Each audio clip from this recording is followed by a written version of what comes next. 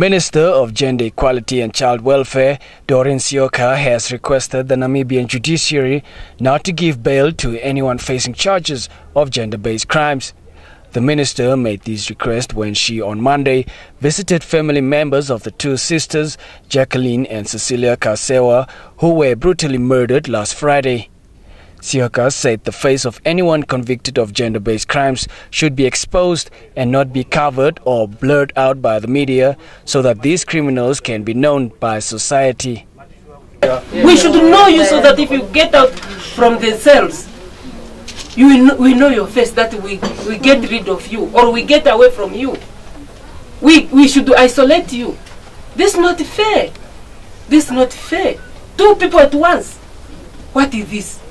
The suspect, who reportedly consumed acidic liquid from a car battery, is currently undergoing treatment in a local hospital and is under police guard.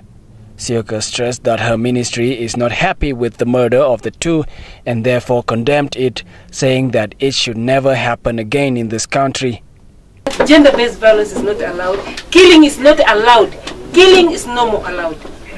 That's why there's reconciliation in this country. She was accompanied by her deputy, Lucia Witbooi, and some members of parliament who donated 1,100 Namibian dollars in cash and groceries to assist the family members and friends during their time of grief.